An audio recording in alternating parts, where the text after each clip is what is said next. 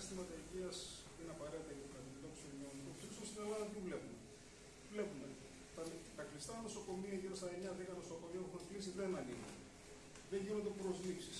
Απολύονται, αλλάζουν οι σχέσεις εργασίας. Ε, επικουρικοί γιατροί, επικουρικό προσωπικό. Ε, συνεχίζεται η υποστελέχωση του συστήματος και τη στιγμή που έλειπαν μερικές χιλιάδες ατόμων προσωπικού,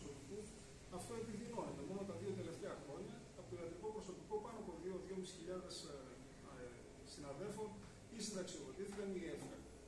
Αν βάλετε και τις άλλες σχέσεις εργασίας που υπήρχαν κατά καιρούς για το ιατρικό προσωπικό, καταλαβαίνετε τι συνέβη. Μετά απεδείχθη περίτρανα ότι ήταν ε, η επίκληση του εμβολίου εμβολιασμού για να τεθούν σε αναστολή κάποιοι συνάδελφοί μας, οι οποίοι για του δικούς τους λόγους δεν σχολιάζουν τώρα, δεν εμβολιάστηκαν, βρέθηκαν άλλες 5-6 εκτός υπηρεσίας. Καταλαβαίνετε ότι αμέσως αμέσως αποδεκατίστηκε περαιτέρω το, το σύστημα.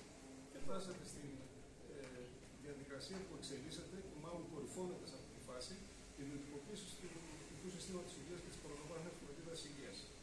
Αν κάνετε μια αναδρομή στην διετία της της ε, ε, πανδημίας, θα δούμε ότι ε, ήδη τον Δεκέμβριο του 2019, πριν από να αρχίσει η πανδημία, ο Πανελλήνιος